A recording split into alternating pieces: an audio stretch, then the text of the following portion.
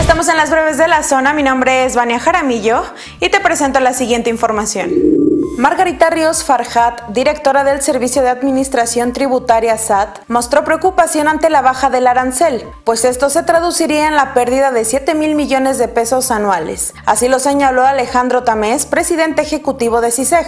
El sector guanajuatense tendrá una reunión con la titular el próximo 8 de agosto en la lucha que mantienen con la federación para que los aranceles se mantengan entre el 25 y 30% y no a la baja de un 10% como anunciaron autoridades nacionales en un decreto al inicio de este año.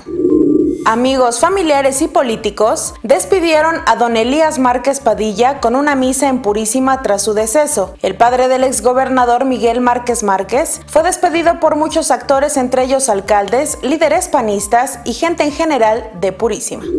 El Club León cumplirá 75 años de su primer duelo en la primera división del fútbol mexicano el próximo 20 de agosto y la directiva del club ya comenzó a preparar los festejos. Este fin de semana iniciará regalando banderas a los aficionados que asistan al duelo ante el América. En siete décadas y media, el equipo Esmeralda ha pasado por todo, momentos gloriosos y complicados, y su afición siempre ha estado presente. Por esto, la celebración arrancará para ellos. Más de 120 países en competencia.